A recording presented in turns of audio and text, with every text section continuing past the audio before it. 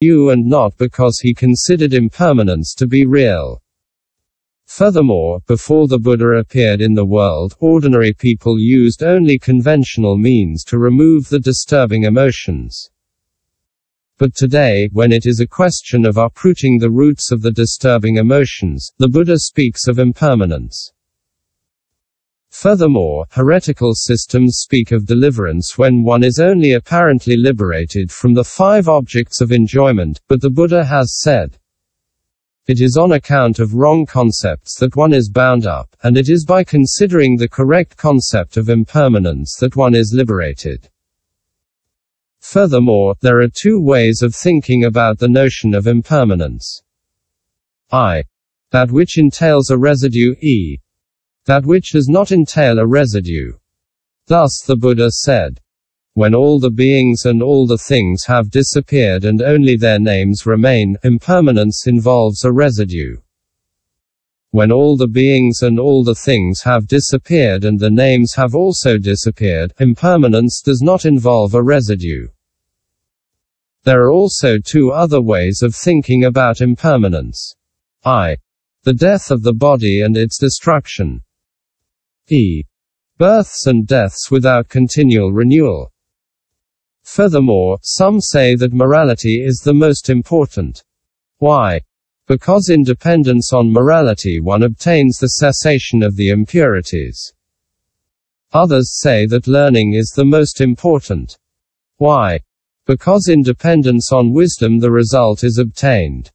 Others say that meditative stabilization is the most important, for the Buddha said, Concentration can attain body. Others say that the 12 strict observances are the most important. Why? Because they purify the practice of morality. This is how each one, maintaining his own practice as the most important, does not seek nirvana diligently. But the Buddha said, these qualities all lead to fractions of nirvana. However, the consideration of the impermanence of dharmas is the true path to nirvana. For all these reasons and even though dharmas are empty, the Buddha preached the concept of impermanence. Finally, the concept of impermanence is synonymous with the Noble Path. The Buddha designated the path by all kinds of different names. Sometimes he called it the Four Foundations of Mindfulness, sometimes he called it the Four Truths, sometimes the notion of impermanence. Anati Sutra. This is what is said in a sutra. If the notion of impermanence is properly cultivated, it destroys all attachment to desire, all attachment to subtle matter, all attachment to the formless, all pride and all ignorance. Thus it eliminates the fetters of the threefold world. This is why it is synonymous with path. This concept of impermanence is sometimes impure and sometimes pure. When it understands impermanence correctly, it is pure. When it begins to study impermanence, it is impure. In the Mahayana, the bodhisattvas with vast mind convert beings in many ways.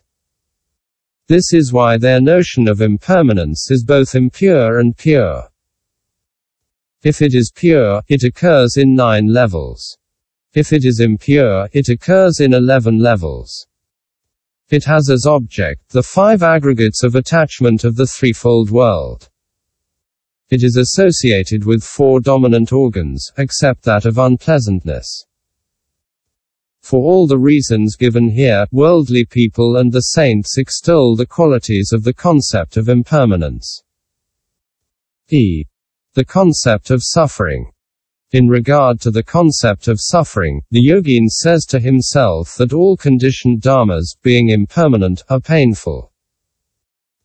Question. If conditioned dharmas, as impermanent, are painful, are the dharmas of holy persons conditioned but pure, also painful? Answer. Although dharmas are impermanent, only those who become attached to them experience suffering. Those who are not attached to them are without suffering. Question. There are saints who, without being attached to them, nevertheless undergo suffering. Thus Cho Li Fu suffered from sicknesses of wind and heat, Pai Ling Po Tso suffered from eye disease, and Lo Po Na Po Note by Kumarajiva. The foremost of the children who bore a lot, Ravana Badrika, suffered from hemorrhoids. Why do you say that they have no suffering? Answer. There are two kinds of suffering. I. Bodily suffering, E. Mental suffering. By the power of their wisdom, the holy individuals have no further mental suffering like sadness, jealousy, malice, etc. On the other hand, because they have received a body composed of the four great elements as a result of actions in the previous existences. They still have bodily sufferings such as old age and sickness, hunger and thirst, cold and heat, etc. But these bodily sufferings are slight and quite rare.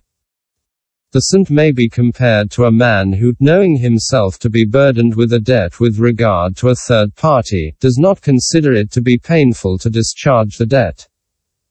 By contrast, the man who does not remember his debt and from whom the creditor demands it forcibly is furious, angry and full of suffering. Question.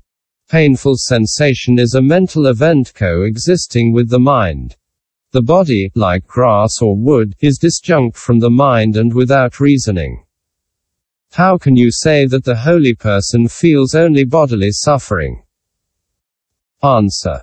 When the worldly person feels suffering, his mind creates a pang of grief stimulated by the anusaya of hostility. His mind is turned only toward the five objects of enjoyment. As the Buddha said. Salyatvena Sutra. Worldly people do not know that, outside of the five objects of enjoyment, there is another way of getting out of suffering. In pleasant feeling, he is stimulated by the propensity of lust. In unpleasant feeling, he is stimulated by the propensity of hatred. In the feeling that is neither unpleasant nor pleasant, he is stimulated by the propensity of ignorance. When the worldly person feels suffering, inwardly he undergoes the suffering of the threefold poison namely, desire, hatred and delusion, and outwardly he suffers cold and heat, the whip and the stick, etc. Just as an inwardly feverish man also is burning externally. The same sutra says, when the worldly person loses a loved object, both his body and his mind suffer from it. It is as if he was being pierced by two arrows. The saints, however, do not have the suffering of pangs of grief. They have only the bodily suffering and no other suffering. Furthermore, suffering is associated with the five consciousnesses, and the sufferings of the whip and the stick, of cold and heat, etc due to external causes, are bodily sufferings. The others are mental sufferings. Furthermore, I have said that pure conditioned dharmas are not suffering because the saints are not attached to them. But the body of holy individuals is impure. Since impure dharmas are painful, what is the mistake in asserting that the saints feel bodily suffering? But in fact, these sufferings felt by their bodies are faint and rare. Question. If all that is impermanent is suffering, the path to is suffering. How can you drive suffering away with suffering? Answer. The aphorism all that is impermanent is suffering applies to the five aggregates of attachment, but the path, although impermanent insofar as it is formation, is not called suffering. Why? Because it destroys suffering and does not